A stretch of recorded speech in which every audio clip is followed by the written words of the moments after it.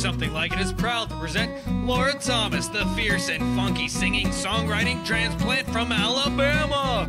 The inspiring video art of New York's own Jim C. The incredible comedic vocal acrobatics of the amazing Zero Boy. And finally, the passionate, soulful paintings of the one and only Mr. Jack Anderson. So sit back, relax, and enjoy the show. Hi, New York. My name is Jack Anderson.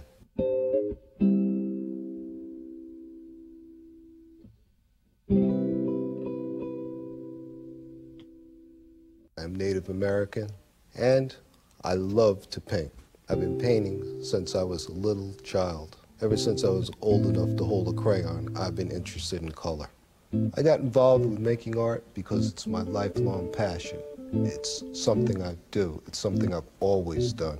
Art is a part of me. It helps keep me balanced. It's something that I need to do.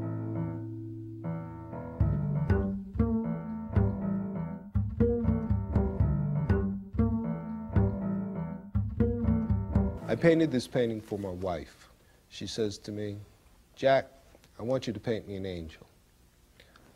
I says, an angel? She says, yeah, just paint an angel. So I looked through my books. I went to the museum. I saw some Renaissance painters, how they painted angels. And this is what I came up with. I call this comfort. The woman in the picture with the gold blanket on, she's obviously had a bad dream or a dream, and she needs comfort from that. The angel comes and comforts her. My wife Cynthia is my greatest inspiration. She inspires me to paint. She's even had me, inspired me, I should say, to uh, embark on this new style. Because before, I basically did abstracts. Now, as you see around, I'm doing like very figurative work. There are a lot of other things that inspire me. Cities inspire me. My children inspire me. The old stories inspire me, such as we have in one of my paintings here, or two of my paintings that I brought with me, uh, the Three Sisters stories, which is about the Native American stories of corns, beans, and squash, how they're always together and always helping each other. These, these are the things, just some of the things that inspire me. This painting is titled Corn Braids. I painted this with uh, two things in mind.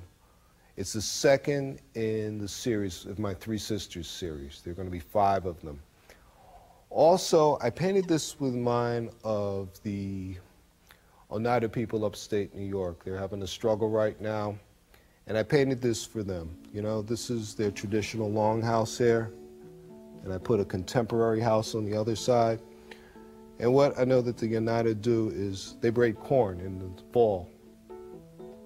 So I have the three sisters here braiding corn, putting corn braids together. Also, it looks like someone's had a baby. What is that? You'll see in the next Three Sisters painting. An artist becomes a professional when he sells his first work. You made money off of your painting.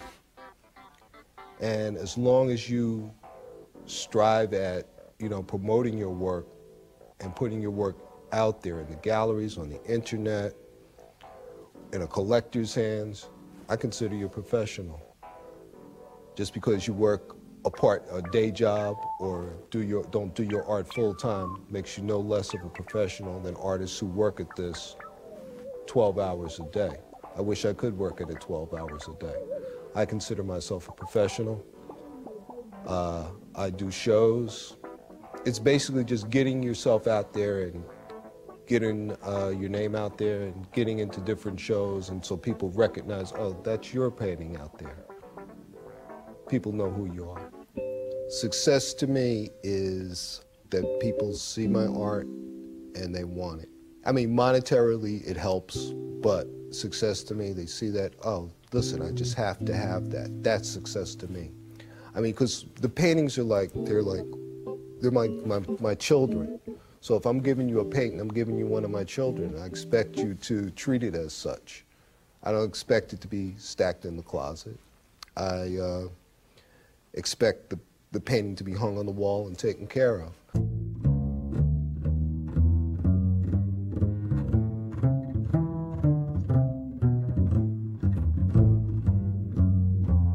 This painting is called The Day Before. I got the inspiration to do this painting when I went to a show that was almost a memorial for 9-11. All of my colleagues had the Twin Towers crashing, burning, or down already and smoke rising from them. This is how I chose to remember the Twin Towers. This is, I call it the day before. This is the view from Jersey. As you see, the buildings are in the background, and there's the Twin Towers right there. It's a normal day, sitting here, we're reading the paper, nothing going on. New York, thanks for watching me. Thanks for letting me bring my art to you. If you'd like to know more about me, you can email me at cryingraven at redpride.com. Thanks again. It's been real.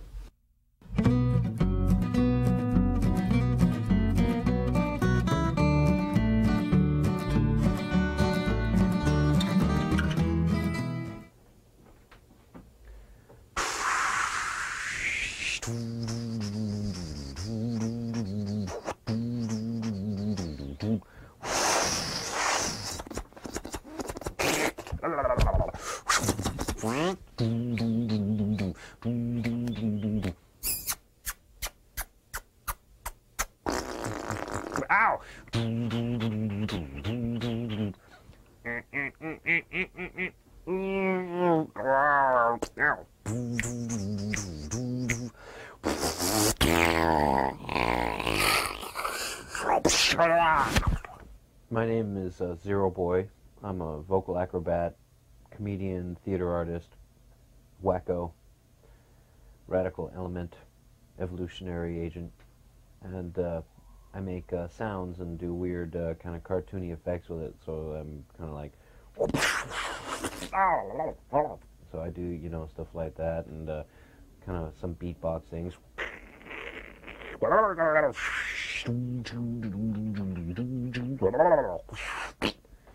And uh, been doing it for a long time. I learned how to do voice stuff when I was a little kid. I played by myself. I created my own worlds. Uh, I would do Voyage to the Bottom of the Sea. I would do uh, the you know fire, forest fighter, ah, and uh, you know you know do all those kind of things by myself, and it was easier to play by myself than to play with others at that time. That's question of collaboration. When I was younger, I had a problem collaborating, but uh, so yeah, you know, I, it became my worlds, and so the, you know, in order to create a car, you make the car with sound and a little bit of movement and action.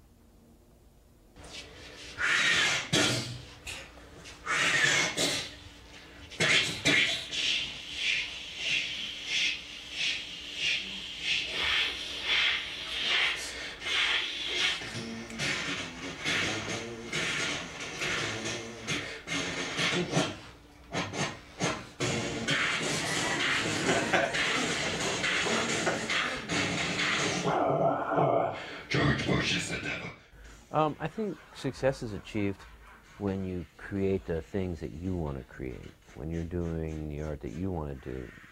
In some ways, I mean, it depends on how you define success. If it's, I want to create my art and do my thing, and I want to be able to live from it, and you're able to do that, that's fine. Uh, some people consider success, you know, being just basically being able to pay all the bills and, and have a life and family and stuff. Um, for myself, uh, I don't feel like I'm successful um, because uh, for all the ideas and dreams that I have, there's still, you know, 80% haven't been completed. And I know most artists probably feel the same thing, that their ideas are, are greater than their actual uh, ability to manifest them. So the more I manifest them, the more successful I think I'd feel. And uh, I guess if that means I get paid and that allows me to do the projects that I want to do the way I want to do them, that'd be better. Um, I was a, um, a Catholic Jew, or a Jewish Catholic, depending upon which side of the coin you flipped over first. My mom was Catholic.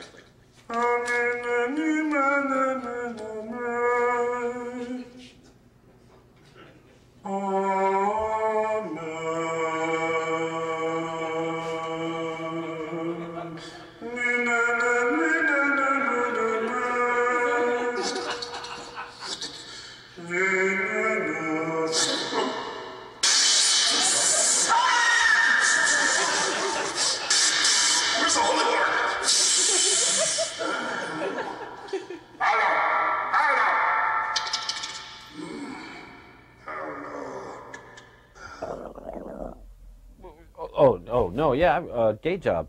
Um, sometimes I have a day job. Sometimes I don't. Sometimes I do voiceovers. Sometimes I don't. Sometimes I do gigs that pay money. Sometimes I don't. Sometimes it goes really well. Sometimes it goes really bad. Uh, a lot of, I think uh, Philip K. Dick said, you know, if you want to be a writer for 10 years, you have to be prepared to eat the grass and the lawn, and then maybe you'll get 50 cents for your first, you know, novel. So I've kind of lived that up and down hills and valleys. My name is Zero, but my name is, my name is, my name is, we are family. Woo-ha, woo-ha, you're toxic. Ah. You can check me out. Check check me out. Check me www.zeroboy.com. Come, come. Come. Yes, get calm. I, I'm gonna.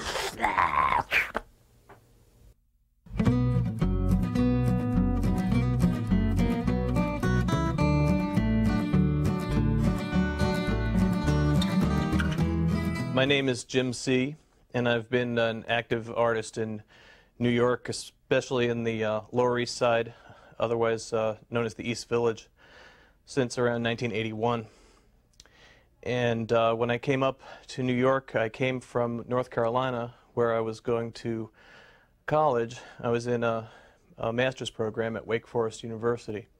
And it was there that I picked up a reel-to-reel Sony Portapak and I started to experiment with video art. And uh, from my experimentation with video art, I was also involved with darkroom photography. So I would take photographs of the video screen and then manipulate the image in the darkroom. Now, some 20 some odd years later, we are able to do the kind of things that I did in the darkroom uh, with uh, a laptop computer. So what I've done is evolved my art uh, through technology to a really higher place. Now tonight I am going to do a video at the Remote Lounge and the title to that is The Dance of the Apocalypse. Now I was thinking of uh, the Hindu, Hindu god Shiva. Uh, Shiva is the dancer who is uh, dances on a figure, which is a person that represents ignorance. And uh, Shiva is known as the destroyer of universes. Okay. In, in Hindu thought, Shiva is not just a destroyer, but in order for there to be new creation, one must destroy the old in order to move on to the new. So this idea of the dance of the apocalypse is to take the image of a dancer and then combine that with different abstract images and also apocalyptic images and combine those into one piece.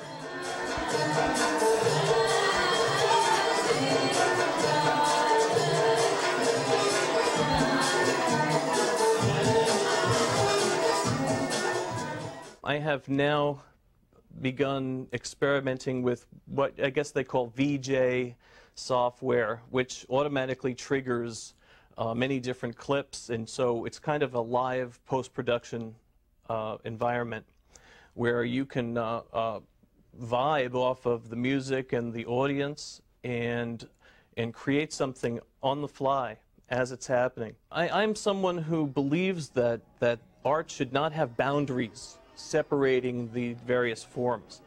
I, I used to read people like Artaud, who talked about uh, total theater. Total theater being something where all many different art forms all come together for, to create one uh, expression. Uh, and so I see video as a tool that can help break down those boundaries. You know, I would say that the most creative people always are in a place where there's a sense of awe where there's a sense of discovery, where you're always learning. You're always learning. I think there's a lot of people down here in New York that are doing their art on a professional level, and uh, they might not have broken through to that 1.5% that did break through. And in my feeling, art is something that really, uh, to be a healthy individual, uh, people should be going home and creating art. It's, it's, it's a shame that people have to be active in this kind of feudal uh, kind of system where we're engaged in daily working activities to such a degree that when you get home, you're too tired to create anything and you want to sit down and drink a beer and watch the uh, Yankees. But uh, please, everyone should hopefully someday be able to express themselves in a creative way. But the, I think it's the, um, the commitment that one has to their art. That's what makes you a professional. There are a lot of people that are naysayers, and uh, we live in a tough town. But uh, uh, uh, stick to your vision. And I always advise people to stick to their vision. I mean, you know, take uh, tips and suggestions, but, you know, process that into your, make it your own. Make it your own. And share your vision with others. Well, thank you very much. I've really enjoyed talking to you.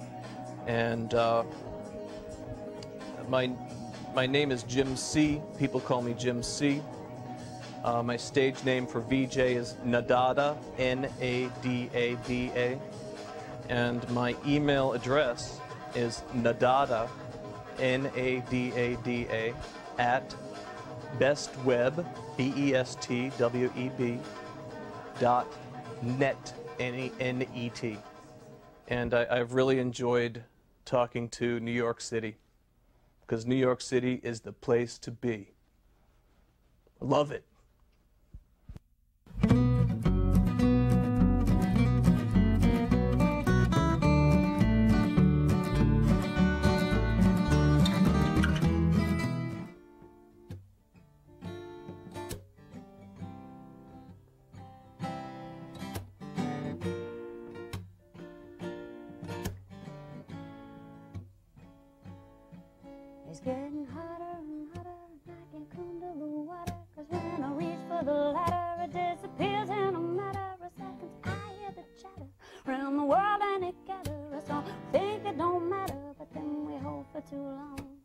We're breaking and buying another innocent giant. When we conquer defiant, we're thrown to the lions. And when we're to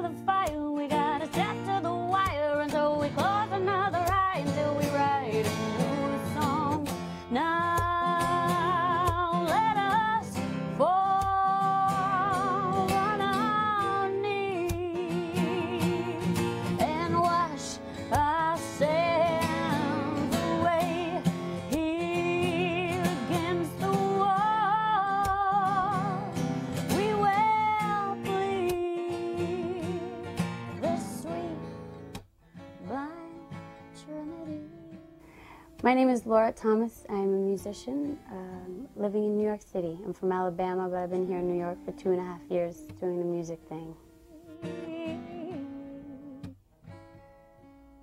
I got a neighbor who hates me, got a president baits me, got a God who won't take me. I'm loving and lazy, a world who can't face me, cause my government's crazy, and I'm tired of bracing for the end of it. So I was given a guitar a few years ago by a boyfriend, and um, I would try to play it every once in a while, but I generally would just get pissed off myself because it sounded it sounded hideous. I don't know if you've ever listened to somebody try to play guitar who doesn't know how to play guitar, but it's awful. And so I generally, after 30 seconds, got really mad, threw it on the ground, and never played it. And then a couple years after I got this guitar, the the boy dumped me, and then just to make him feel really bad, I learned a song on guitar and I made him listen to me play it before before I told him I never wanted to see him again, and uh, and that was great. And then and then I wrote all this music about how much I hated him, which is a great way to start writing music. You know, I feel like writing music is like being possessed by a demon almost. Like I have to exercise it in order to function emotionally. Uh, so I write, you know, I, lo- I wish that I could sit down and write music. I try sometimes, and it's just not there. And then other times, I guess all musicians must experience this. You sit down and write a song in 10 minutes. The best thing you wrote all year, and who knows where it came from, but. We do, we will scrape and peel our feet from your table. I hold in my hand a bitter pill that I can't abide so I can stay on inside the beautiful land. I remember I played a gig in B3. I don't know if you've ever been there. Uh, downstairs they have a little basement bar, and, and I, I was playing guitar and had a girl playing with me, singing with me harmonies, and there were two people in the audience, you know, because I just moved to New York. I didn't know anyone, so I had the two of us playing for two people, and it was miserable, and we did the show anyway. And now, you know, last week we played a show for a couple hundred people. So it gets better, the scene grows, but it's like brute force, you know, for every person that comes to believe in me, it's it's it's so much work. It's monumental work. So I guess that only changes when somebody with a lot more money than I have says, "I'm going to invest in you and and spread the gospel of your music, you know, far and wide," because I certainly can't do it myself.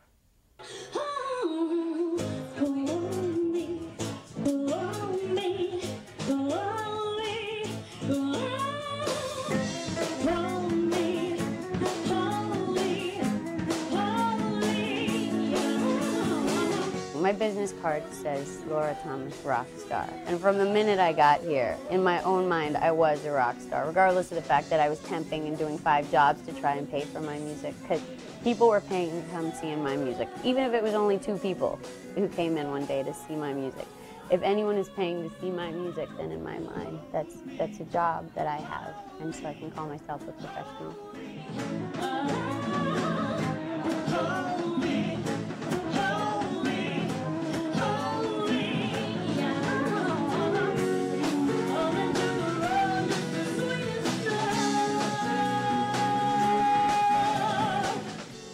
The songs that I feel very attached to right now do do have um, do make a commentary on the current state of the world and, and the city and and the people that I love and know.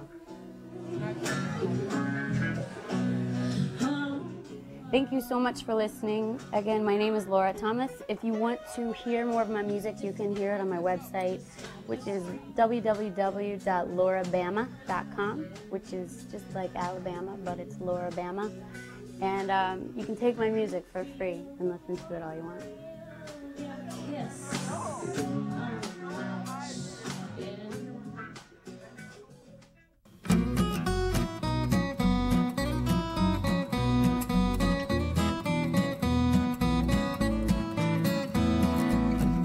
All the artists and all the people that made this show possible. Special thanks to New York City for providing a breeding ground of creativity. It's art. Or something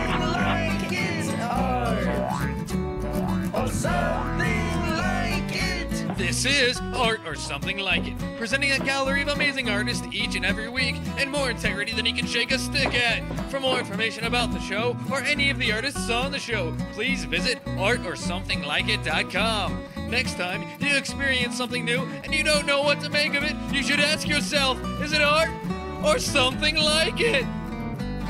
Thank you. Good night.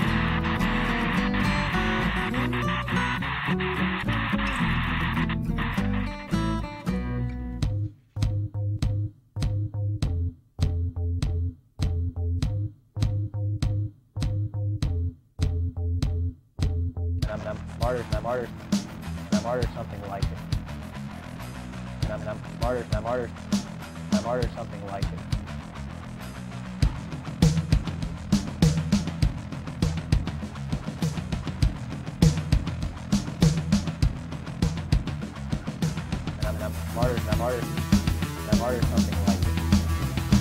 I'm, and I'm smarter I'm something